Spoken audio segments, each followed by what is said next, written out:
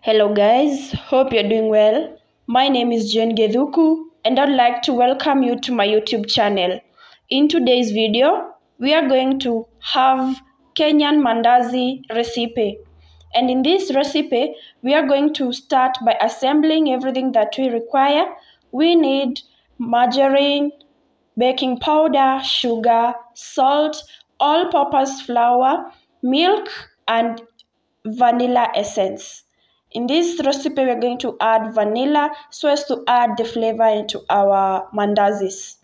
So, now we're going to take our basin, and in this basin, we are going to first add sugar, some salt, the baking powder, and all purpose flour into this basin. And then we're going to mix everything together. And in today's recipe, as you can see, I've used four tablespoons of sugar because I like mandazis sweet.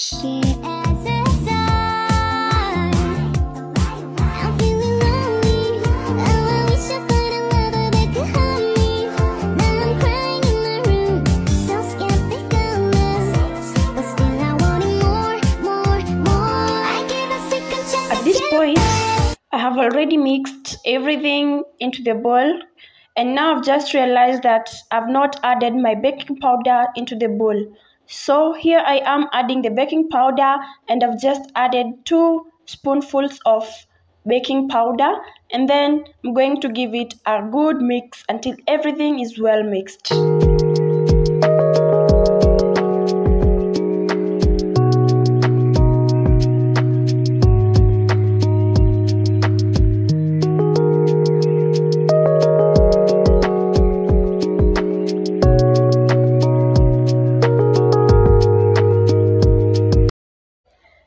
Everything is well combined and it is time for me to add the margarine into every into the mixture. And then I'm going to use my clean hands and mix everything up and ensuring that there is no lump into the flour okay? Ensure that there is no lump so as to get the best results in this recipe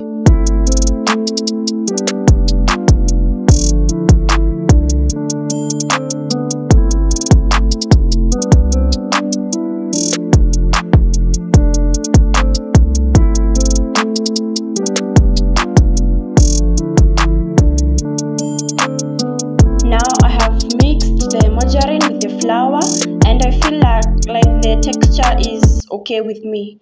Now it's time to add your wet ingredients and at this stage you're going to first mix your milk if you're going to use milk alone, milk and the vanilla essence, just one teaspoon of vanilla essence.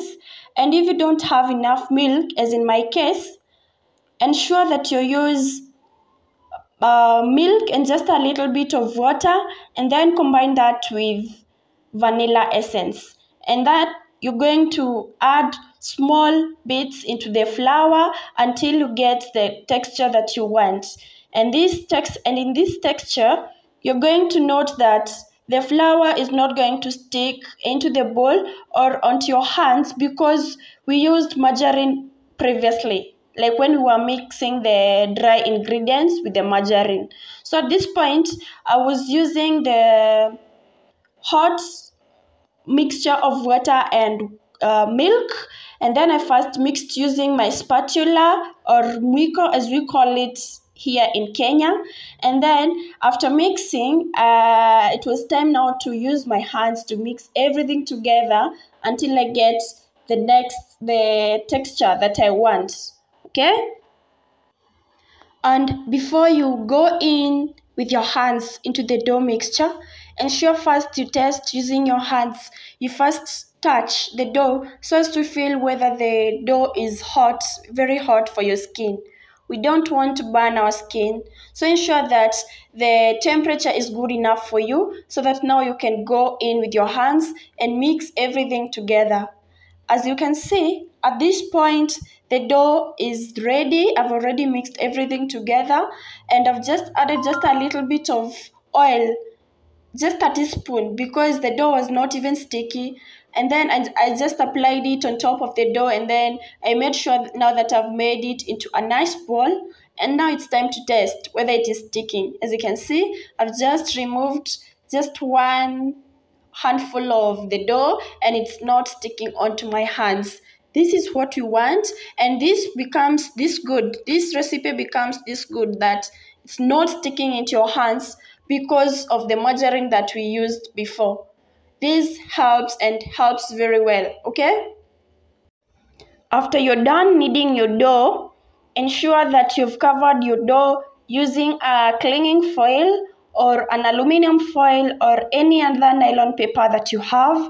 And then use a, a, kitchen towel to cover your flour and a lid. And then put your dough aside to rest for it to rest okay? You should at least allow your dough to rest for at least two hours or more or even four five hours as long as you can so that the dough can rise well now when you put it into the oil. Now it's time to roll the dough and i'm going to cut the dough into different sizes and different shapes for my mandazis as you're rolling the dough and cutting it into different shapes and sizes ensure that your oil is heating so that you don't have to wait for it to heat when you're done rolling and cutting. Ensure that everything is ready so that when you're done, you have the, the mandazi that you've already cut, you're not going to start cooking directly. You should also cover the mandazis that you have cut so as to prevent them from getting dry we want soft mandazis. We don't want a hard cover on the mandazis. We want them soft. So ensure that you cover them so as to preserve the, the softness on top of the mandazis.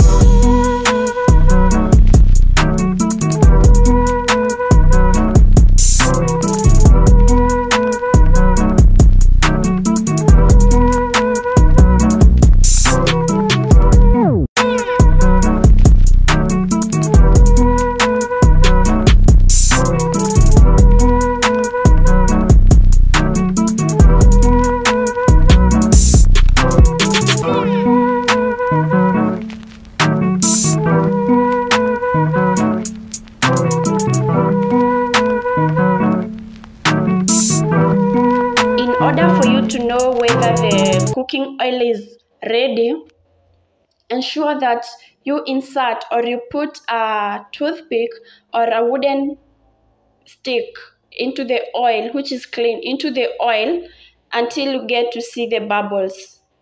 When you see the bubbles appearing beside that stick, now you know that your oil is ready. You can now start cooking the mandazis until you get that golden color in every mandazi.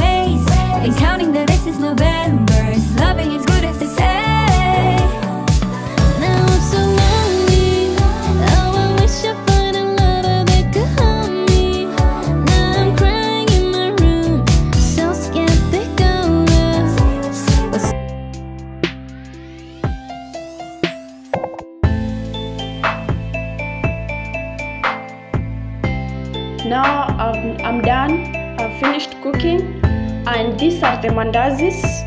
The results are good. They are beautiful. They are golden color. They are golden in color. They are sweet very yummy and they're just pleasing to see. They are just even appetizing.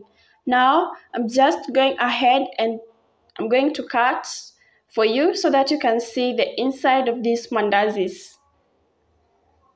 There we go. These are the mandazis that I'm talking about. They are very beautiful. very sweet. They are not too thick. I just like mine to be in this size. They're not too thick, they're not too small. It's in something that you can eat and you can get full after eating just a few of them.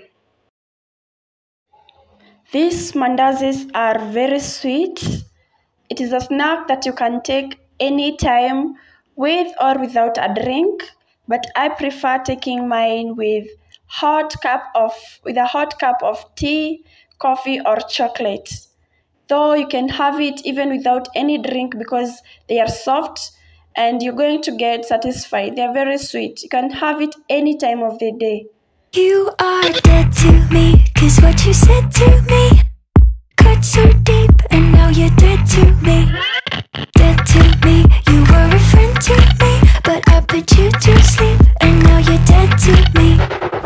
you guys for watching. I hope you have enjoyed the video. I hope you have learned something in today's video and I'm very happy that I am the one sharing this recipe with you and I'm hoping that you're going to try yours and please comment down below about your results, about the taste, about everything that you've done in this video. I'm happy and please remember to subscribe, share, like and comment down below. This is going to help a, a very long way in growing my channel. Thank you and goodbye. See you next time.